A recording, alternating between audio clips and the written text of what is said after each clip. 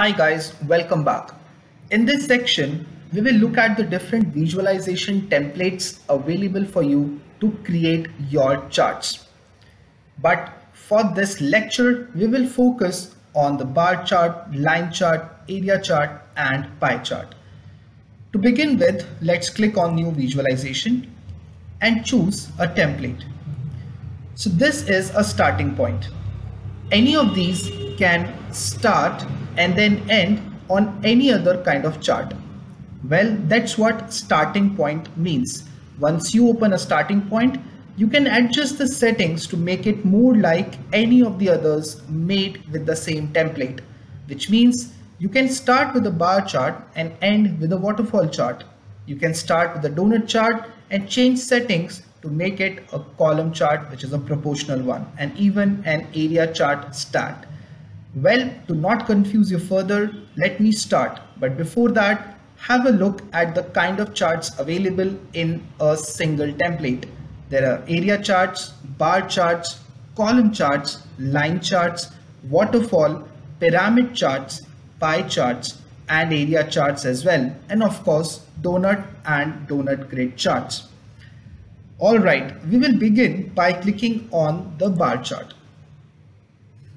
So what does this template can do?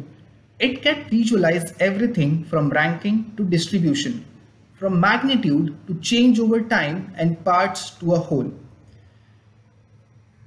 So to get started, you can either choose to continue with the existing set of data available or you can choose to upload your own data. When you upload your own data, make sure that there is a column containing labels for each instant of data like years or Premier League football teams, etc. In a line bar or area chart, these will become the values or categories along the x-axis. In the pie chart, they will become the slices. As a default, Flourish assumes the first column A holds the labels and the rest of the columns holds the different series. But if your CSV or Excel file isn't in this order, you can easily change this on select columns to visualize panel under the data tab. Once you have input your data, you should be able to see a preview of your chart in the bottom right corner. If you switch back to the preview tab, you can tweak the styles of the chart. So use the column chart. These are the standard choice for comparing things but they can also be used to show change over time, especially for a single series. You can then use line charts that are ideal for showing changing time series as well as trends and developments over time. Then there are bar charts that are good for comparing size, especially on small screens. They are a good alternative to column charts when the data are not time series or axis labels are long. Further, Area charts are great to show how a total and their shares developed over time. Think about them as a combination of a line chart and a column chart. And lastly, the pie charts are used to display parts of a whole. Use these to show how an entity breaks down into its components. These are the different charts that you can make from one starting point to another. That is, if you can start with a column chart, you can continue and move up to different chart types like area, pie or a bar. If you start with a pie chart, you can make an area or a bar chart. If you start with a line chart, you can make an a bar chart or a pie chart. So you can do those internal transformations and that all can happen under the settings section. So let's have a look at all the different charts you have a bar chart grouped which is currently selected.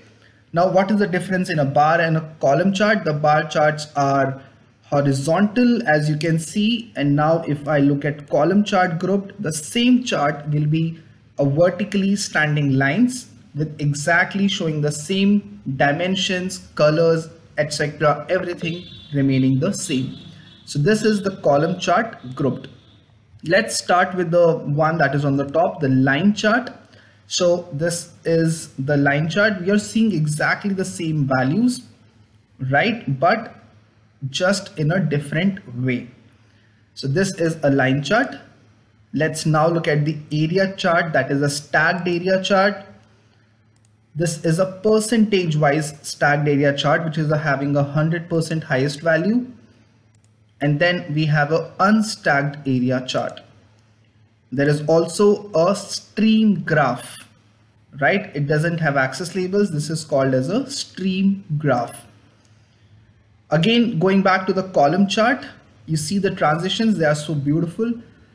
Uh, the column chart, the grouped one, column chart that is a stacked one, and column chart that is a 100% stacked column chart. Also, we have a column chart that is under a waterfall category. This is a column chart, but showing in a waterfall view. Now let's have a look at the different bar charts. These are nothing but horizontal column charts. Then we have a bar chart that is a stacked bar chart and we then have a bar chart which is a 100% stacked bar chart. And again, we have a bar chart which is a waterfall bar chart. Let's now look at the pie chart or the donut chart. Let me show you later how to convert a pie to a donut or a donut to a pie but this is exactly you can convert from a line or a bar chart to a pie or a donut chart. Further we have combo charts that are line and bar grouped. Then we have lines and columns which are stacked and then we have lines and columns that are stacked 100%. And lastly, we have combo lines and areas that are stacked.